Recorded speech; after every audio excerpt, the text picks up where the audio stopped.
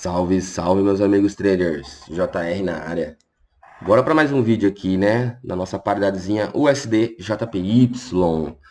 Cara, é, então, se você é novo aí, já se inscreva, deixa aquele like aí, cara, que eu tô tentando fazer uns vídeos mais separados, operação por operação, dá um pouco de trabalho, porque eu nunca sei quando vai dar o ponto certo, né? E às vezes eu não, não estou acompanhando aqui, eu não consigo gravar, mas eu tô me esforçando aqui para pegar o ponto aqui e trazer para vocês as informações aqui de acordo com o que for acontecendo, tá ok? Dá um pouquinho de trabalho, mas é que isso aí. Que vale as informações aqui para agregar no operacional de vocês, beleza? Então deixa aquele like para ajudar aí. Show de bola. A gente tá aqui, cara, ó, antes de tudo, os links dos indicadores que a galera pergunta aí, ó, tá aqui abaixo do vídeo, pra, ó, tem um vídeo também que eu explico como utilizar esses indicadores, como eu vejo, né? É, e o link do meu treinamento, cara, que tá ainda aí com o desconto da Black Friday, 40% de desconto, tá aqui abaixo ainda, então aproveitem que logo logo estarei removendo, beleza? Então bora lá, a gente tava aqui na nossa paradazinha aqui, o STJPY já tava numa pernada de baixa, lembra do posicionamento semanal que eu fiz aí, ó? Cantei a entrada lá. É, fundo, topo, que eu peguei aqui essas regiões, beleza. Já tinha identificado aqui como uma venda, show de bola. Tava só guardando lá no M15, ó. Então, já abriu, ó, segurou certinho no nosso nível semanal, ó, voltou rompendo. Peguei a venda nessa vela aqui, stop, dois níveis acima. Olha que interessante, né? Stop aqui, ó, tava de 670 pontos, 675 pontos mais ou menos ali, beleza? E olha aí, ó, o, o comportamento. Aqui não deu para mim um subciclo, ó. Não deu. Cara, quando ele tá em cima do nível semanal, caralho, Juninho, você vendeu em cima do suporte semanal? Cara, vendi. Tendência de, de queda tava, tá bacana, ó, nos no nossos times aí, ó.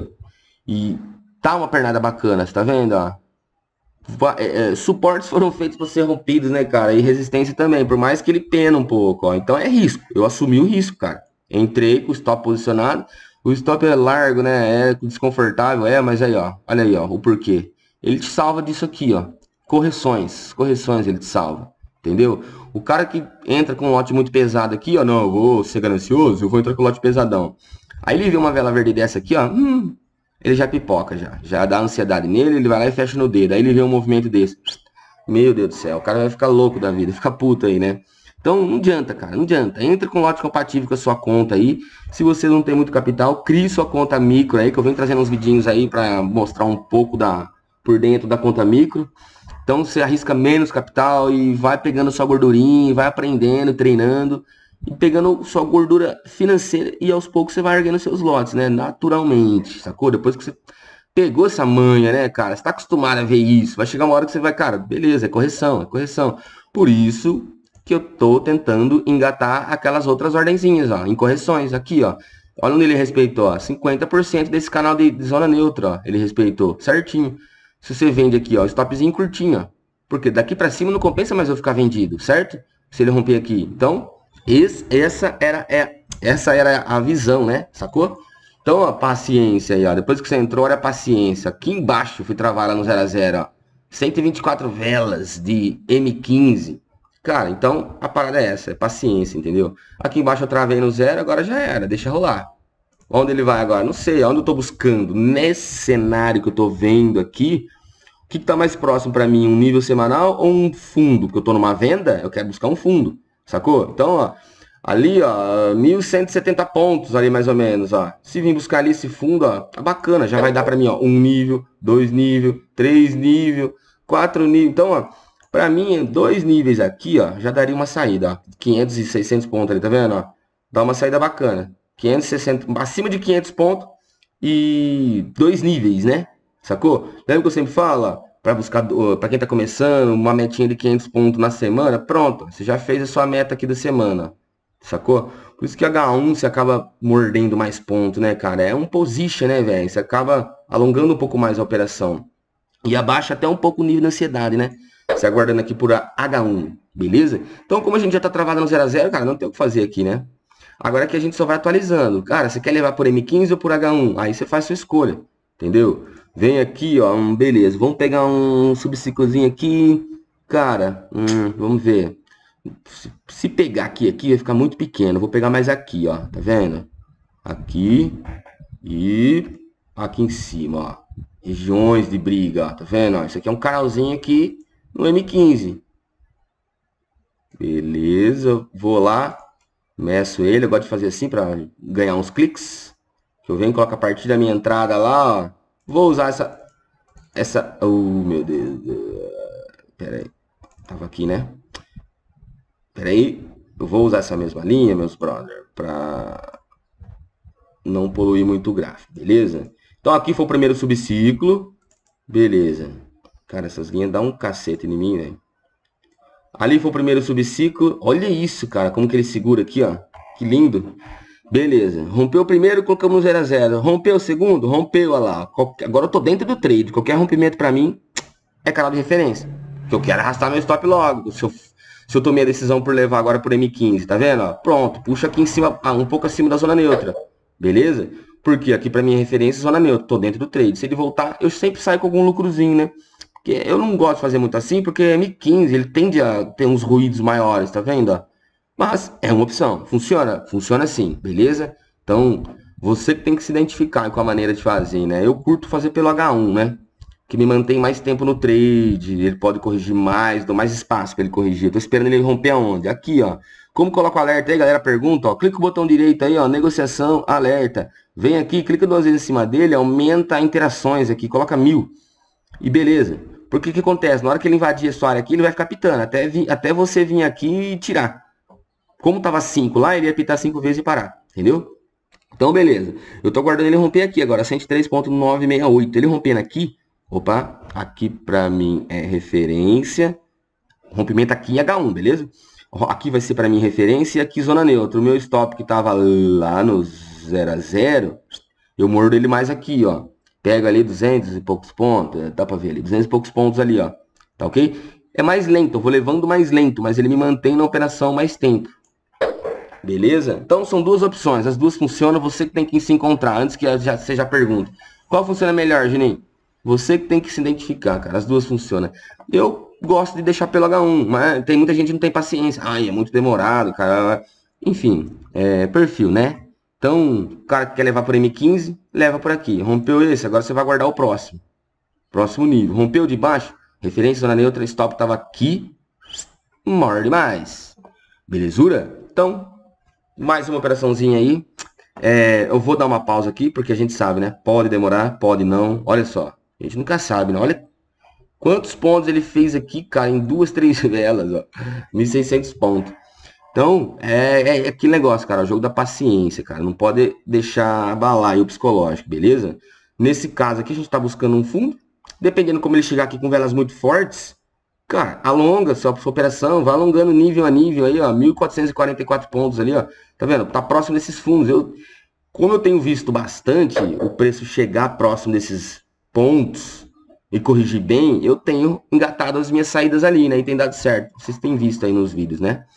Mas enfim, vamos dar uma atualizada, é, uma, uma pausa aqui e eu volto a dar uma atualizada, beleza? Então, deixa aquele like aí para fortalecer, cara, que é meio complicado, meio dá, dá, um pouco de trabalho fazer esses vídeos aí, mas vale a pena aí pro pessoal já ir pegando as manhas aí do como ir fazendo no, no pós-trade, beleza? Então, cara, paciência, hein? Olha só, hein?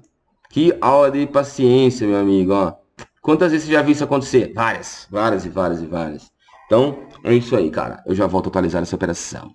Voltando aqui então, meu brother, nossa operaçãozinha aí, ó, o SDJPY, cara, é lento, lembra que eu comentei? Eu estiquei aqui mais um subciclo para baixo aqui, né? Lembra que a gente tava lá no nosso gerenciamento aqui, ó.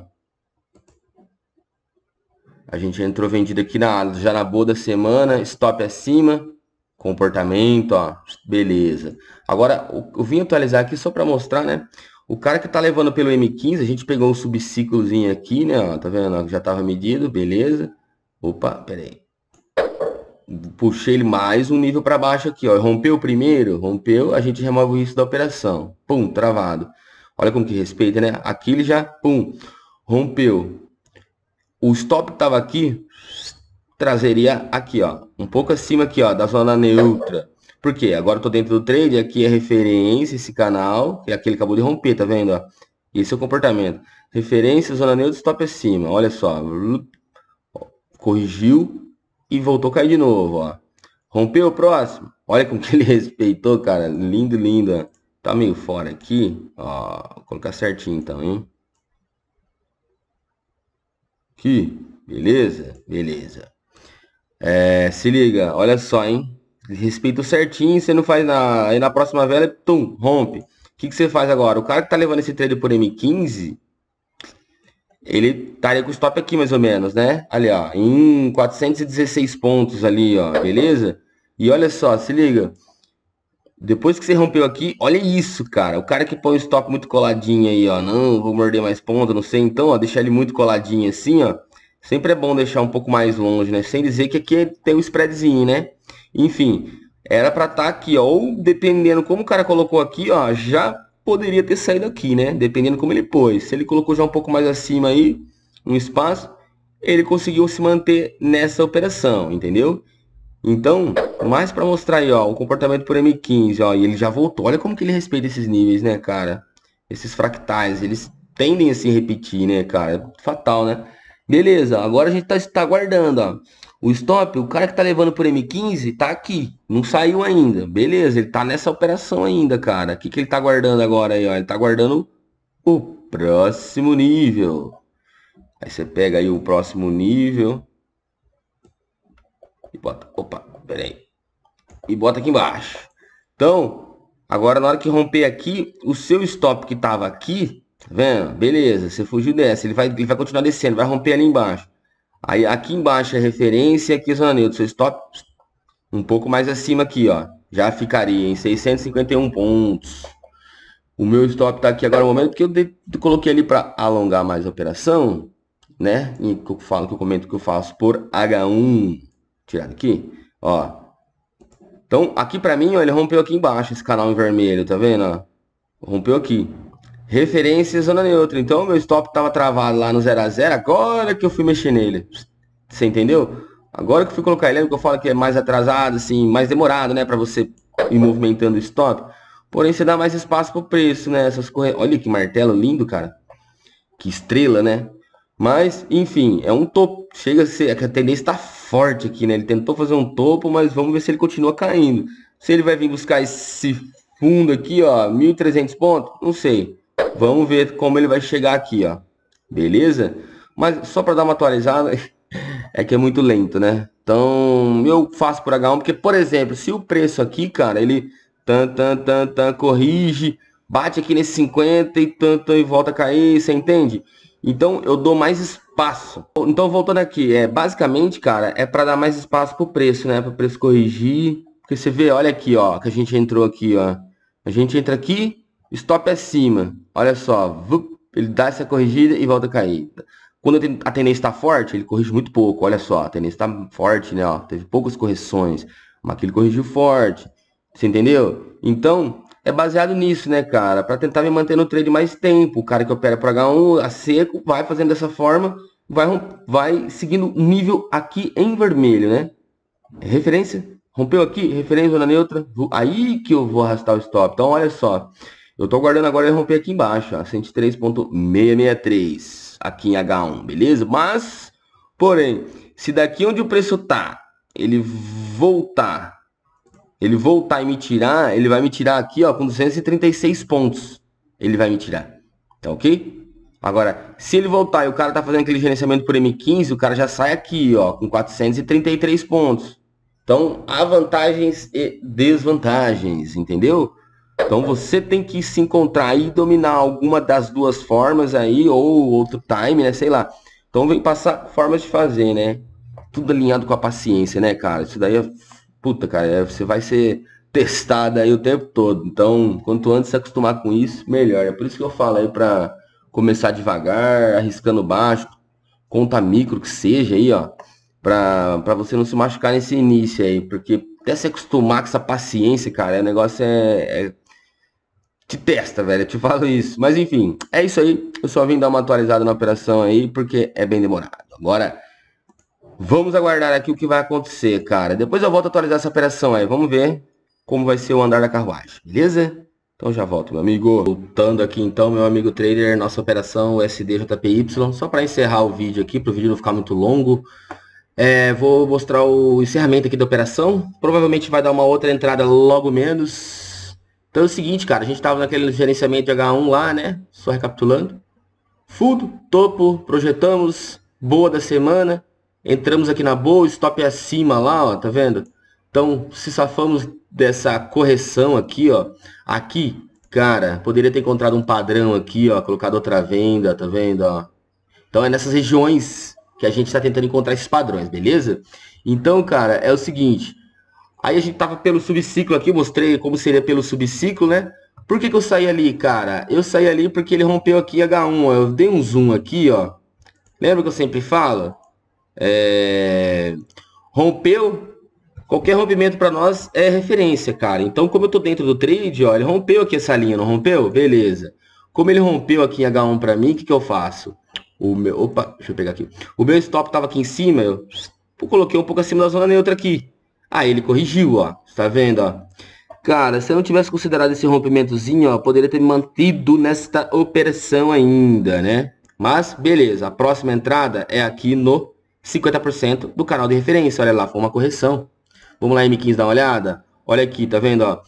Aqui eu procurei um padrão, dei uma olhada, eu ia entrar aqui, mas acabei não entrando, porque, ó, pegou um pouco menos de 50% nessa vela, mas teria dado muito certo, ó, stopzinho curto, e bora pro game, já estaria travado no 0 a 0 sacou? E esse trecho aqui, ó, a gente ia pegar duas vezes, né? A gente já pegou daqui até aqui, ó, a gente ia pegar esses 140, 150 pontos aqui duas vezes. Interessante, né? Mas então é isso aí, só para finalizar a operação, olha só como que ele tá segurando lá certinho, lá no nosso 50%, ó, já respeitou. Então, beleza. Rompendo aqui, daria a nossa próxima entrada, né, ó. Pô, possivelmente ele pode estar tá indo buscar esse fundo aqui embaixo, ó. Pode, cara, tem dois níveis aqui ainda. Tem um nível, dois níveis e meio se a gente entrar ali, entendeu?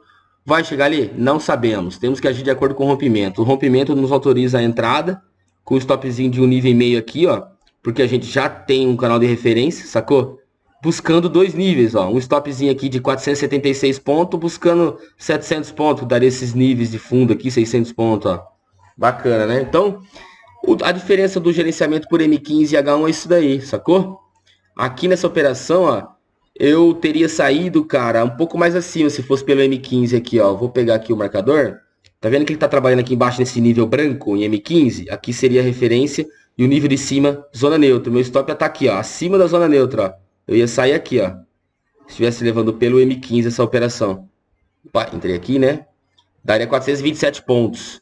Como eu tava levando pro H1, aquele micro rompimento lá que eu vi, lá em H1, eu já arrastei meu stop, cara. Deu quantos pontos? Ó, 546 pontos. Bacana. Por que bacana? Acima de 500 pontos e dois níveis para mim, ó. Um nível, dois níveis. Bacana. Para mim é uma saída digna, né? Então, para finalizar a operação, o SDJPY aí, ó, deu 500 e pouquinhos pontos. 540 pontos. Show de bola. Agora, costurada. Se ele retornar dois níveis, ó, romper essa região de 104.259, compra. E se ele voltar aqui para baixo, rompendo o nosso canal de referência, que seria aqui, ó, 103.819, dá uma venda com stopzinho curto, buscando dois níveis. Esse seria o comportamento. Beleza, meus amigos? Então, só para finalizar esse vídeo aqui, mostrar o decorrer aqui dessa operação. Deu um pouquinho de trabalho para filmar aqui o final, demora alguns dias, né? Então, a gente não paga swap, ó, entramos lá no começo, ficamos alguns dias, não pagamos swap. Você criando sua conta aqui pela corretora FX Primos. O link tá aqui abaixo, tem conta micro, conta standard e conta ECN. Conta micro, depósito mínimo é 10 USD. Conta standard é 100 USD. E conta ECN é 500 USD o depósito mínimo, tá ok? E tá rolando aquele bônus de 100% de depósito. Você depositando de 500 USD a 10k, você vai ganhar um bônus de 100% de depósito, tá ok? Então, qual que é a dúvida, meus amigos? Os links estão aqui abaixo. O link do meu treinamento também tá com 40% de desconto aí da Black Friday. Então aproveita que logo logo estarei removendo. Então deixa aquele like aí se você gostou da operação, se você pegou também aí em algum ponto diferente, porque cara, cada um pega diferente uma visão, né? Então se você pegou de alguma outra forma, deixa um comentário, deixa alguma dúvida aí que eu tô tentando responder todo mundo. Peço desculpas se o seu comentário foi respondido, porque tá vindo bastante comentário, a galera me chamando no Face, no Instagram lá, e tá difícil de acompanhar, beleza? Então é isso aí, cara. Me adicione no, no Instagram e no Facebook, cara. Tá aqui abaixo do vídeo os links, tá ok? Então é isso aí, meus amigos. Hoje é quinta-feira, então já praticamente já encerrei aqui, né? Vai dar outra entrada? Possivelmente vai dar, a gente não sabe. Então, como já é próximo de quinta-feira, tem a opção de ficar de fora ou não. Isso daí é você que, que decide, beleza? Então é isso aí, meus amigos. Desejo um ótimo restinho de semana a todos aí. Forte abraço.